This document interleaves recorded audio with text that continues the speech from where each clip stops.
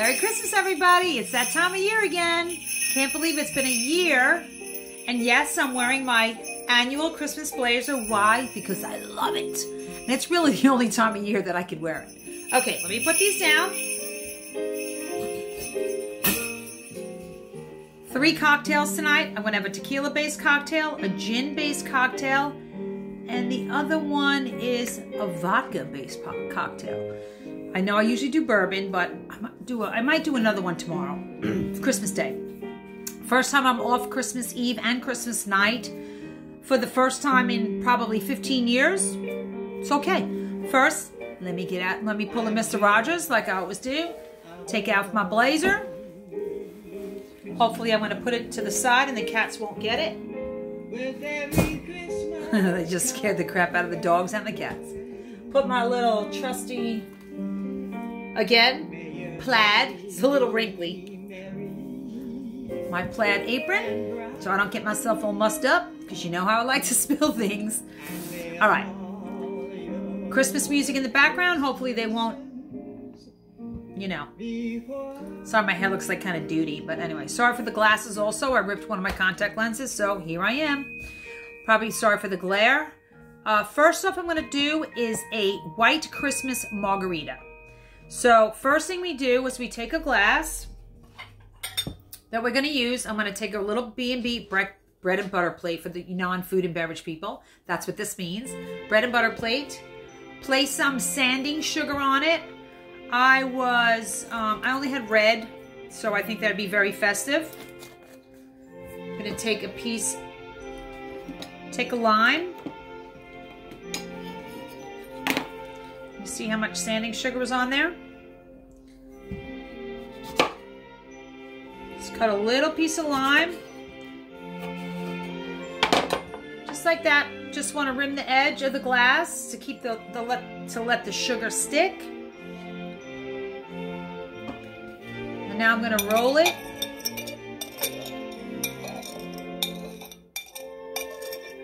You don't like sugar, you could do salt. That's fine. Okay, so I'm going to put that to the side. Look how pretty that looks. Put the sanding sugar. Oh. Sanding sugar to the side. By the way, shout out to my sister Jillian. I got a lovely gift in the mail today. Her awesome cookies. Any of you who have ever eaten her cookies know what I'm talking about. Thanks, Jilly. Love you. Love and miss you. Okay, so um, it calls for... This is a weird one. Sorry, I didn't mean to be out of the frame. This is a weird one. It calls for two to three ounces of coconut milk. If for super sweet, you can do um, cocoa, cocoa, cream of coconut like the Coco Lopez. But I'm going to try to keep it on a little bit not so sweet side. Even though you know I love sweetness. So it says about two to three ounces. This cocktail is supposed to be made frozen, but I'm not doing it. So what I'm going to do is I'm going to put about two ounces Make sure you shake the coconut milk up really well. Just like that. Okay, so I should have used the glass one, but there's about two ounces in there. And what I'm going to do is I am going to put a little bit of Coco Lopez. Do you know your baby boy? Sorry, I love this carol. Just a little bit, because I don't want it too sweet. So I'm just going to put, whoa. Can you see that? That's the cat playing with the bells on the door. I'm sorry about that noise. So, obviously he wants to go outside, but too bad. He's got to wait. So just about maybe a, a quarter of a teaspoon of that. I'm going to try to mix it up a little bit with that. Get all that in there.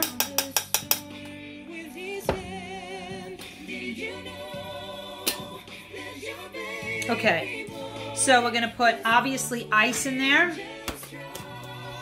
Look, I got my tongs. Let me tilt the camera a little bit, see if that's a little better. Yeah, but I'm gonna use my hands. It's just me and the animals. So we're gonna put a lot of ice because you know we like it cold. I'm not making, I'm not gonna drink the whole thing because I'm making three cocktails. And I didn't really eat yet. Okay. Put the car. Oh, so now we're gonna take. It says two ounces of silver tequila. I guess because it's a white margarita, you don't you want it to be as white as possible. So I'm gonna do the same amount that I did of coconut milk. Can you see that?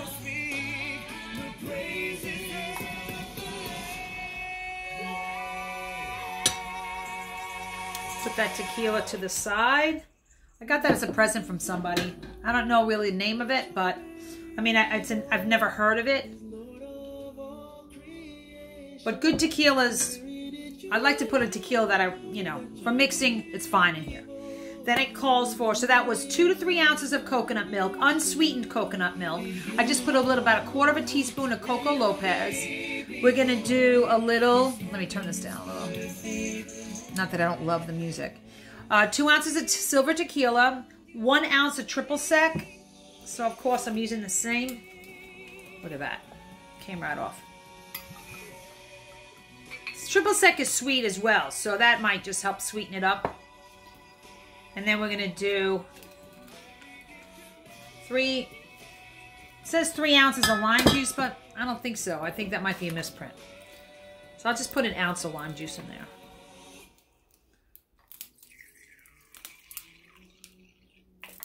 Okay, pour that in there. Put that to the side. You know I have to put things away, otherwise I'll knock it off. Okay. Best part. It's a good song. Christmas.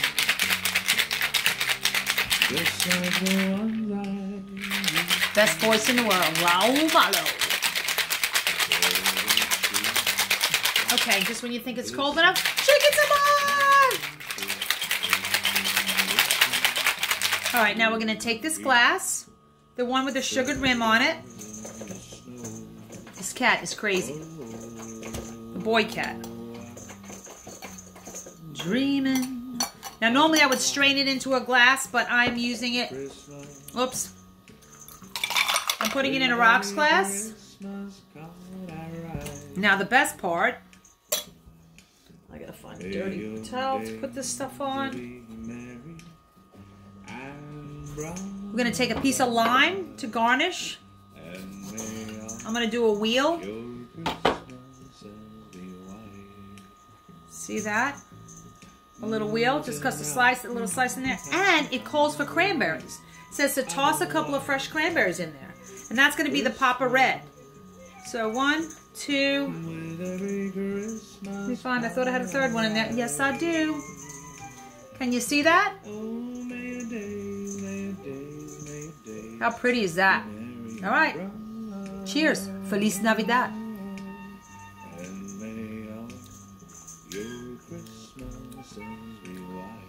Nah, honestly, I would like it sweeter, but it's good.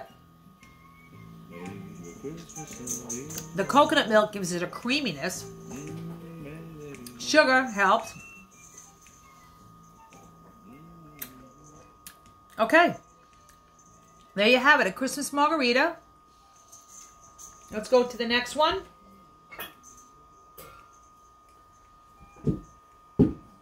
I really should have had a tray table here so I could put all my empty stuff on it. All right. Next cocktail up is going to be, hmm, ginger pear? Or should I do the, oh my goodness, I forgot the ginger pear. Hold that thought. I mean, I forgot the pear syrup. Hold that thought.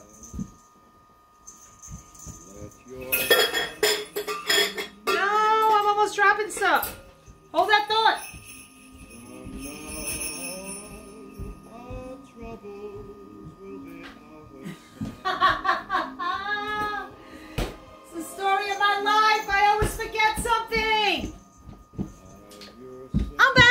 This is why I need an assistant. I even wrote a list and I forgot. So I made this simple syrup today, the ginger simple syrup. Oh, I made a small batch, so I did a half a cup of water and a half a cup of sugar on the stove, constantly on a high heat, stirring it, stirring it, stirring it. With the ginger in there, I peeled the ginger and put it in there. I also added a little ginger juice from the Ginger Guy, a Ginger People, I think it's called. It's a really nice organic company. So we're gonna do that. We're gonna start with a shaker because we have to make them smaller and smaller because I can't get that drunk.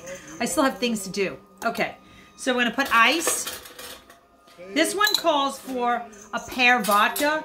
Now, normally I would use Grey Goose pear because I really like their pear vodka. I'm not, a, you know, necessarily um, pushing Grey Goose, but I really do like their pear vodka. I do not like Absolut at all. So, but I was there, and apparently it's it's back ordered at the liquor store. So I bought this. It's called Burnt Church. It's made here in the Low Country in South Carolina.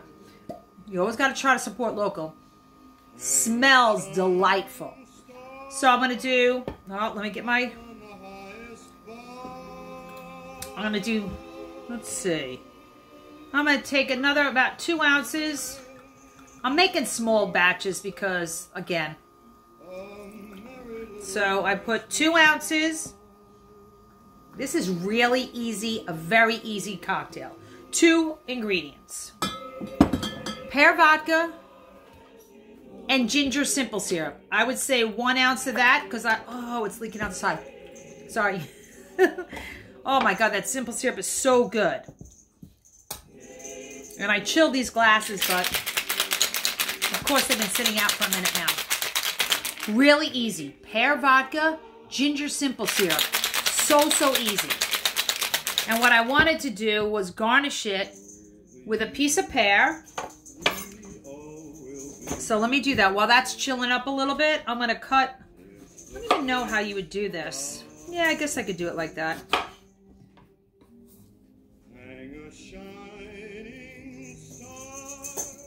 So, piece of pear. And I have candied ginger. I always have in the house. Every time my stomach bothers me, I eat, I eat a piece of this. So... Actually, there's a couple of bites. Being that it's just for me, I'm going to use that piece. So I'll take, I'll take the the pear and the piece of candied ginger, and I will stab it. Oops, sorry. Can't lose those. Gonna put it right through the middle. Just like that. Can you see that? Put that in the cocktail. Give it another shake.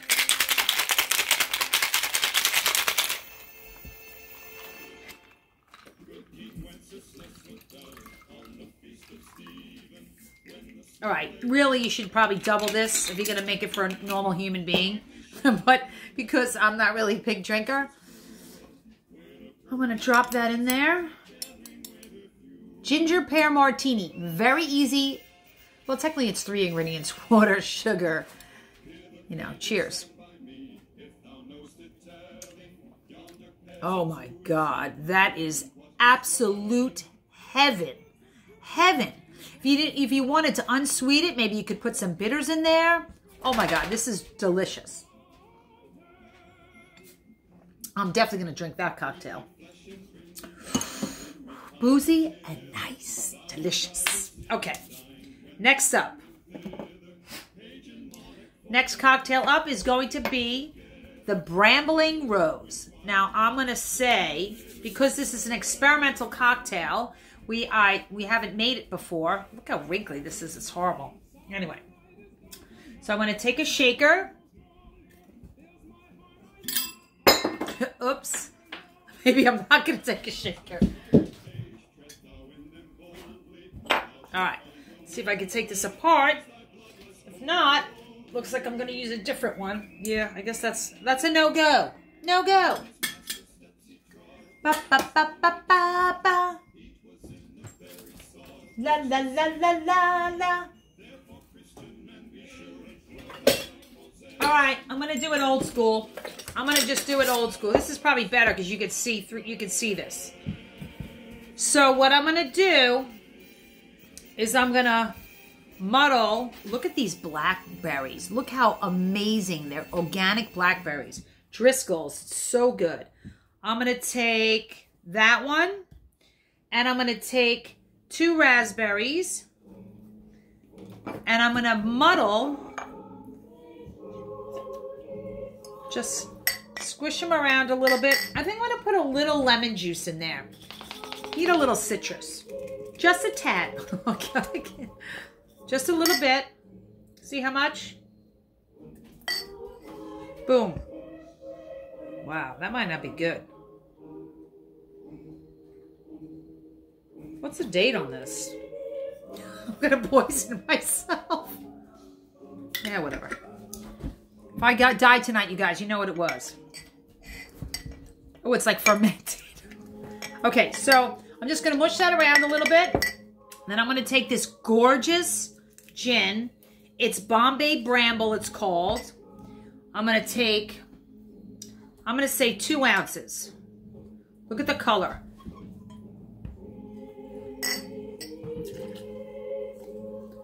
Do that. Put that in there.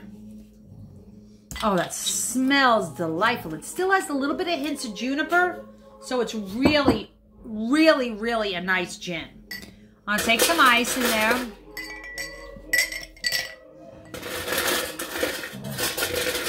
Of course, the dogs are, are, are wrestling now. I'm trying to do my video. Stop it. Um, and I'm gonna do a little pear juice in there.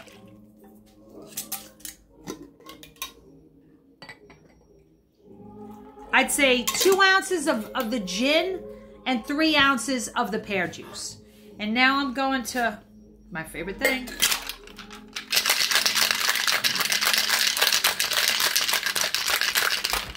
And I'm going to strain it.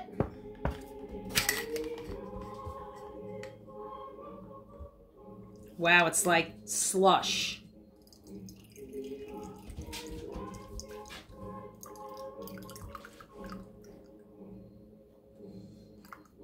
You could do this on the rocks if you want. I'm letting the fruit drop in there too. Just trying to keep the ice cubes out. Gosh, that's delicious. That smells so good. Except for that weird lemon juice. Let me take take another another sword. Don't use your teeth when you have guests. Put a blackberry and a raspberry. Garnish it. Look at that color. Is that not beautiful? Cheers. Merry Christmas. Oh my God. That is amazing. Amazing. So delicious, fruity. Oh my God, it's so good. I don't know which one I should do. I bet if you put ginger in here, it would probably be good too.